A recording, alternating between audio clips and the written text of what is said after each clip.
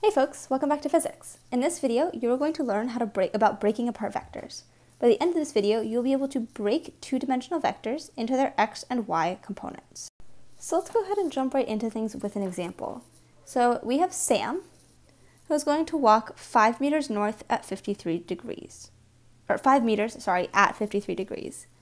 So we want to figure out how many meters north he walked. So I'm going to start by just drawing my unit circle. And I'm going to go ahead and just do that in black. And so we've got our coordinate axes. Okay.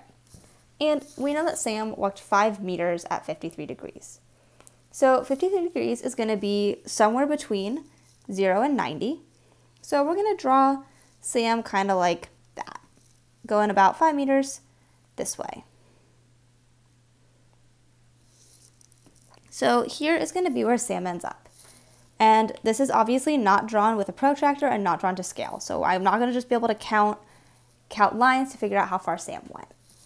But what I can do is I can just draw my sides as, I'm going to say A is how far east he went, and B is how far north he went as my two vectors. I'm going to go ahead again and draw in those components. The other thing that I know that I haven't yet added is this angle, which from the problem I know is 53 degrees. So to figure out how, what the components of our vector are, so what our x component A is equal to, in fact, I'm going to even rename our components. Sorry to do this, guys. I know it's confusing, but I, I think it might be easier in the long term if I just call my red vector x and my green vector y, since they're my components in the x and y direction.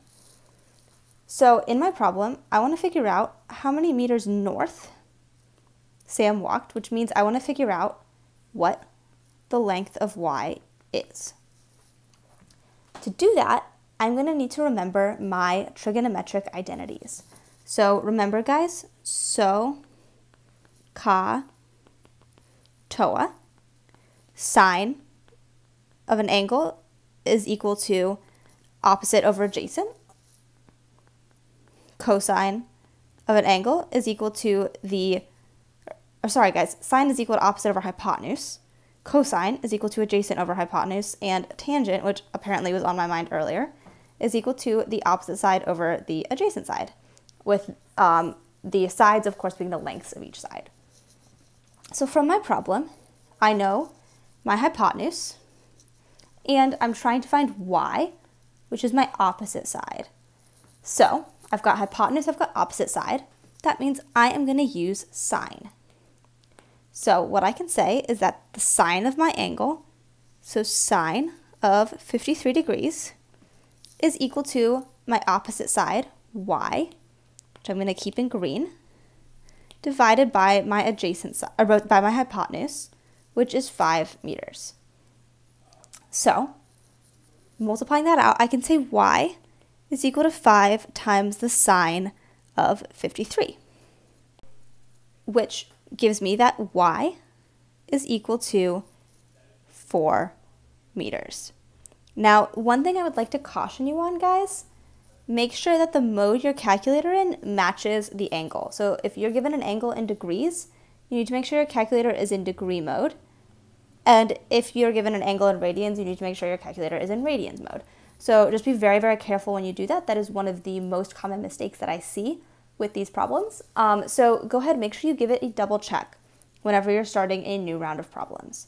So again, we know that y is equal to 4 meters. And I don't have to find my direction because that's given my problem. It's 4 meters north. So there you know. There you have it, guys. You have figured out the y direction, the, the length of our y um, component of the vector. And I could do the same and figure out the x component. To do that, I will, of course, be using a different angle, um, and or not a different angle, sorry guys, a different trigonometric identity. And in this case, I am going to be using cosine because x is adjacent to my angle, and my hypotenuse was given to me. And it's not rounded like my y side is. So what I'll say is that the cosine of 53 is equal to x over 5. x is equal to 5 times the cosine of 53 and throwing that into a calculator in degree mode, I get that x is approximately 3 meters. So Sam walked 4 meters north, 3 meters east. I know my problem was just asking you to find north, but I wanted to make sure you could also find the x component of your vectors. So let's give another example. So now we have Frodo, who's going to walk 5 meters at 143 degrees. So we're going to figure out how many meters north he walked. So let's go ahead and again draw in our unit circle. So I know again 0 degrees, 90, 180, and 270. So I know that Frodo is somewhere between my 90 degrees and my 180 degrees in quadrant 2. And I'll go ahead and just draw a vector in quadrant 2, which I'm going to say is at 143 degrees and is 5 meters long. And I'll go ahead and add in the components of that vector. x pointing to the left and y pointing up, or in this case, north. So you can figure out your sines and cosines for angles larger than 90 degrees. But what I want to do is I want to stick with our using these unit circles, these unit triangles. So what I'm going to do is go ahead and just put in my angle A right here, which is going to be 180 minus 143. And I just know that from the geometry of my situation. This straight line is 180 degrees, I'm 143 degrees. I've cut out 143 degrees, and so what's left is 180 minus 143. When I do the math, what I'll get is that this angle is equal to 37 degrees. So now I can figure out the values of y and x, or actually, for this problem, just y, right? So I only care about how many meters north he walked. So I know that I have my hypotenuse and I have my angle, and I'm trying to find my opposite side, so I'm going to use sine. So sine of my angle is equal to my opposite side y over my hypotenuse of 5 meters, giving me y is equal to 5 times the sine of 37, or y is equal to approximately 3 meters. So I have broken down my vector into one of its component parts. I could break it down even further and figure out this x component using cosine, but again, I'm not going to do that because my problem didn't ask me for that. So let's go ahead and talk through takeaways. So first of all, we can use cosine to find the x components of vectors and sine to find the y components.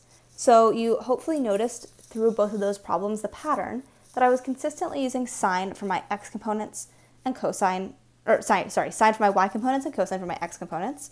Um, and that is something you will find is the case almost all of the time with your vectors. Secondly, the quadrant your vector is in will determine the sign you will use. So going back to example number two, had I found x, x was pointing to the left. So I would have said that x was negative, however many meters long it was, rather than positive. Um, so if I'm going north and east, we're going to be positive. If I'm going south and west, we're going to be negative. And that's something that you will hopefully get more and more used to the more of these problems you do. So with that being said, go ahead and solve some more problems and get used to all of this. Best of luck and happy solving.